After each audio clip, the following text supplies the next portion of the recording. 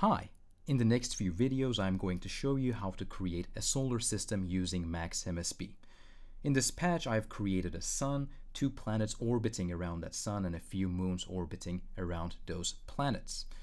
This series is also a good introduction to the 3D world of Jitter, all those OpenGL objects that let you create 3D scenes in real time.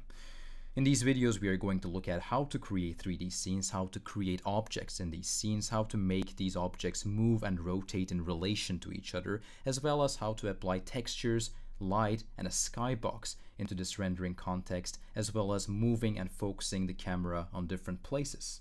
So, let's begin. To do anything in Jitter in the world of JitGL, there are a few key objects we have to create and work with.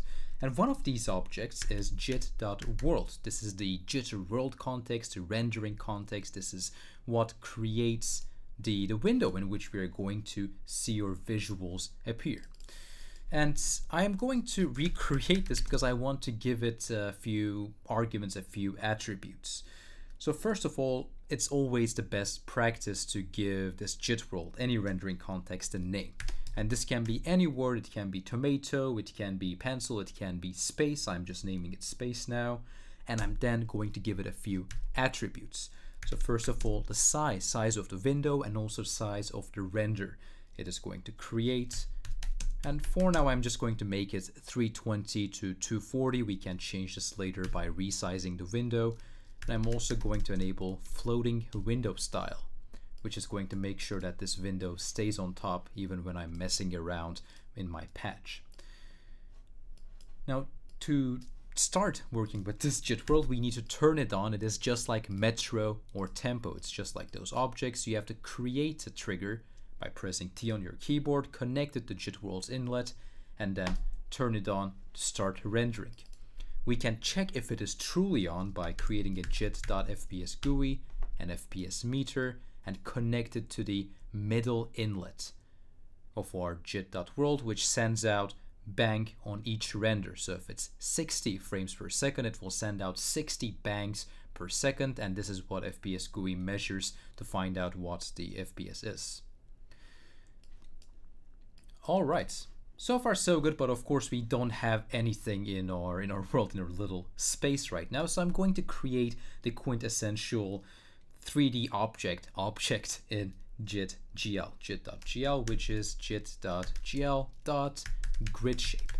And as the first argument, I'm going to type in the rendering context's name, which is space, and it is immediately going to generate, it's going to create the sphere in this window, which is a bit too big, which has a few rough edges here, and uh, it doesn't really look 3D, but we are going to get there.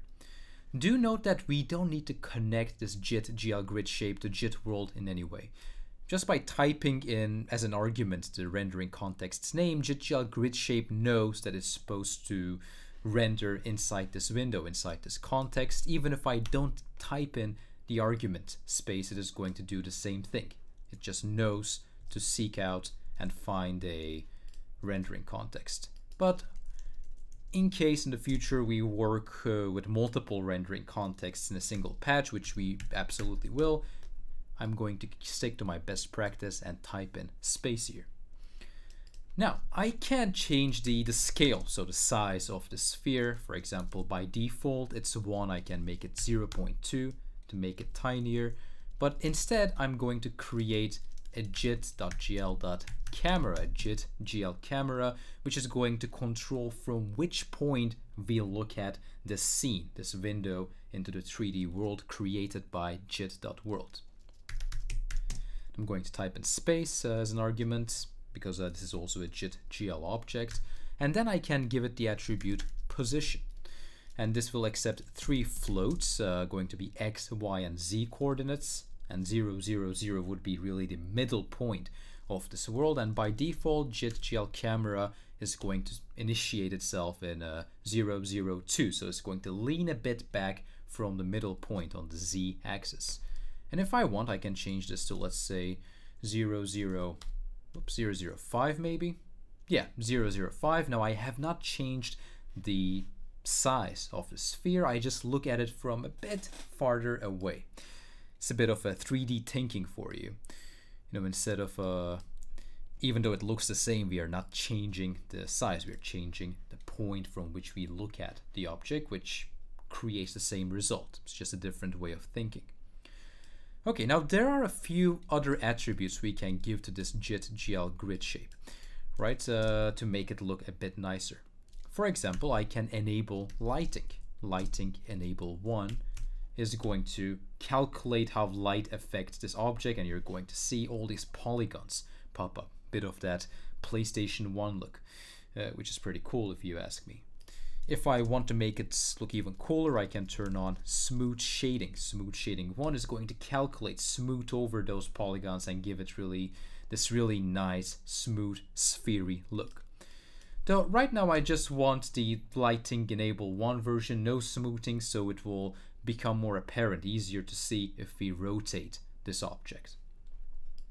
If I want, I can also mess with the color of this object, so I can give it an attribute of color and then three float numbers to uh, in RGB format. For example, if I want a nice green color, I can type in 0 for reds, uh, let's see, 1 for green and 0.3 for blue, and it gets this nice green bluish shape.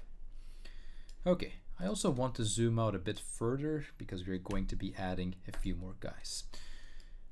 Now, if I want to rotate this sphere, right? Uh, I, there are a few ways of doing this. For example, I can change the position attribute or the rotate attribute or the rotate XYZ attribute. I can send messages uh, changing these attributes, but a much easier way is to use the jitter library jit.anim, which comes with a jitanim node, jitanim drive, and jitanim path. And right now I want to explore jitanim drive, which is going to animate a 3D transform. So first of all, what you need to do after creating this object is to connect it to a 3D model, a 3D object, in this case JIT GL grid shape. And maybe it's a bit backwards, but you need to take the outlet, the first outlet of JIT anim drive and connect it to the first inlet of JIT GL grid shape and nothing is going to happen because we need to either send it a message or give it an attribute that will describe a transform, a transformation. You can look at the reference of this object for more examples, but right now I'm concerned with turning this object, rotating this object continuously, a continuous animation. And this turn is something we describe in three axes, and on the x-axis, on the y-axis, and on the z-axis. The number is going to be the speed of this turn, right? For example, if I type 1, 0, 0, this guy is going to start rotating on the x-axis, on the horizontal axis. I can increase this number to make it rotate even faster. Right, I can even I know, type in like 100 or something and whoa, and it goes really fast. Okay, no need to make ourselves dizzy like that. And if, you know, we usually imagine a planet rotating uh, on the y-axis, right? So if I type in turn 010, it is going to rotate nice like this. It is a bit slanted and that's because we rotated it on the x-axis. So if I just reinitiate this object, it is going to be fixed. Okay, so we can imagine this as the sun of our solar system. We can worry about the colors and the looks of these objects later, but let's say this is the sun. And now I want to add the first planet in this, uh, this world of objects. So I'm just going to create another JIT GL grid shape. And uh, let's also type in space, of course, and let's change this guy's scale. Let's make it tinier. Let's see, a third tinier, 0.33, and I'm going to type in position, uh, let's say 3.0.0. Right, all of these JIT GL grid shape objects are initialized in the position 000. So if I type in 300 as a position, it's going to move to the right on the x-axis. But this is a bit too far away, so let's uh, type 200 instead, and let's also give it the attribute lighting enable 1. Ah, much better.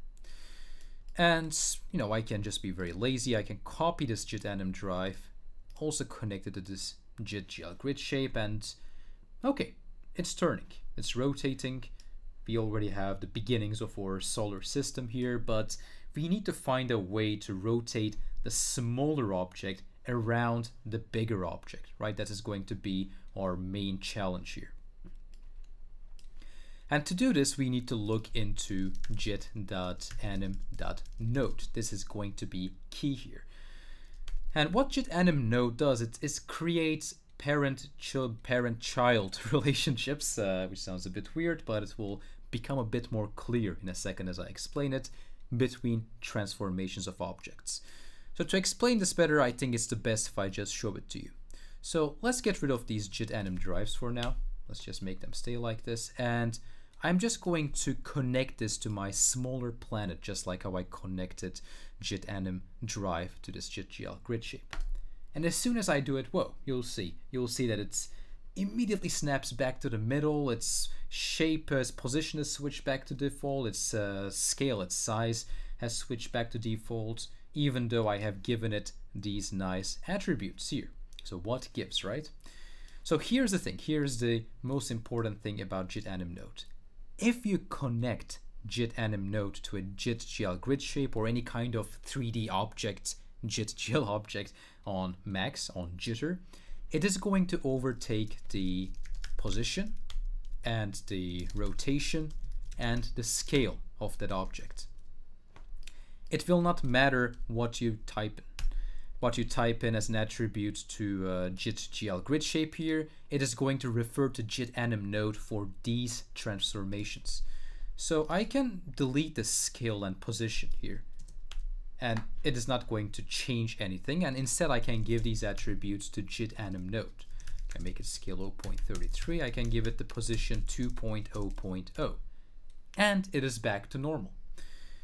And then if I want to animate this, if I want this to rotate, I can just create my JIT anim drive. Uh, let's see again, turn 0, 1, 0, and connect this to JIT anim node, since JIT anim node is now in charge of all these transformations. And now I'm going to do the same thing with this JIT, the original JIT GL grid shape, what is going to be our sun. So let's also set the scale to 1 and the position to 0, 0, 0 and give it that nice turn. All right. Now, this is the exact same thing we had before we added jit.anim node. So here's the trick. We just have to do a single thing, one little thing, to make the smaller planet rotate around the bigger planet. And that is to connect jit.anim node's first outlet into the inlet of the second jit.anim node. And there you go, it's rotating. Simple, but very, very, very effective. So what is going on here? So as I've said, jit.anim node works with parent and child relations, right? Which means that if I connect these two jit.anim nodes together, the one that is being connected to the second one becomes the parent. So the child's transformations are always affected by the parent. They're always relative to the transformations of the parent. So this means that if the parent's jit.anim node is rotating, right, which is what it is doing, it's turning, everything in the child jit.anim node is going to turn as well. So this position 2, 0, 0 is going to stay the same. We are not really changing the position of this object, even though it looks like we are. But we are rotating the entire scene around the parent jit.anim node. So this is, I mean, this uh, does make your head spin at the beginning, but uh, if you experiment with this, these jit.anim nodes create bunch of hierarchies between different levels of jit.anim nodes, you'll see that a lot of cool things are possible without having to worry about complicated maths and relationships between numbers, and you can just connect these cool jit.anim nodes. If I want, I can also add a third planet, right? Or not really a planet, but maybe a moon on this first planet that I have. So I'm just going to copy this entire guy. You can see it created this another JitGL object here. And I'm going to make it even tinier. Let's say 0.1. And I'm going to change its position to 1, 0, 0. I'm going to do this because it's probably going to be relative to my child jit.anim node.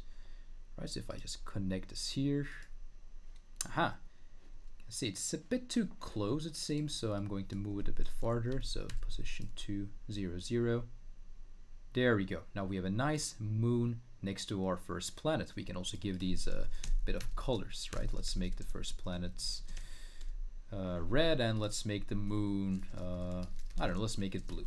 Let's just go with nice primary colors RGB colors and uh, before we move on in the next video, something fun to do might be to change the background. So the background is this dull gray right now, but we can change the erase color, erase underscore color attribute of jit.world, or we can send it the message, erase underscore color, and then four floating point numbers, four decimal numbers in uh, the shape of RGBA colors. So if I create this pack, erase color, and I create these four floating point number boxes and I connect all of these guys here. For example, the first channel would make the background a bit red, more red. The second one would make it a bit green. The third one would make it a bit blue. I can set all of these to zero if I want to have a black background and then I can start messing with the alpha channel. Right, if I lower the alpha lower than one, you'll see that the objects are going to start leaving trails.